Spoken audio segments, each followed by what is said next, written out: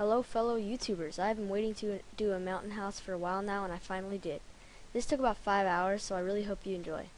Okay, let's begin. Alright, first off is my kitchen. And my kitchen is my favorite part of my house because the fridge. I like the fridge because it's so unlike others because it shoots out different kinds of foods like that was a melon, apple, baked potato, and so forth.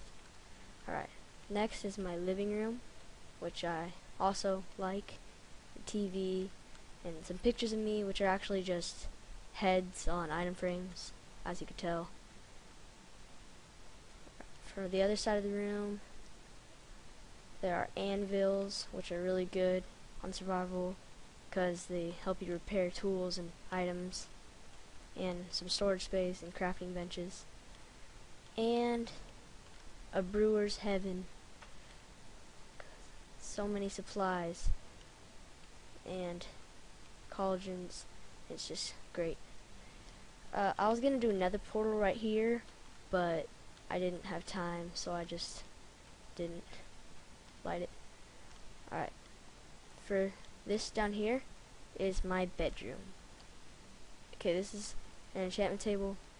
And it goes up to really high levels, like max. And this in the corner, it it's no has no function whatsoever. It just looks pretty good in the corner with my fireplace inside looking all good.